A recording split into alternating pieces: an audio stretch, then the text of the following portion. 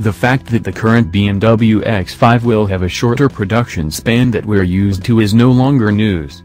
Through various interviews and the fact that the current BMW X5 will have a shorter production span that we're used to is no longer news.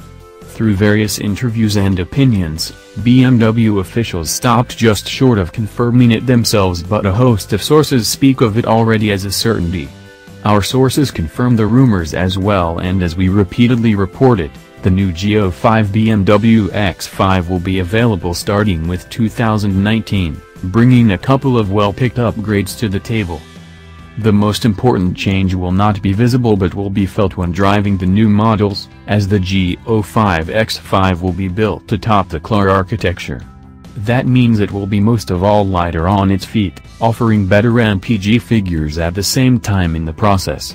This move will also mean that the X5, X6 and X7 will be sharing a lot of their underpinnings, even though the latter will be the most luxurious and spacious model of the three.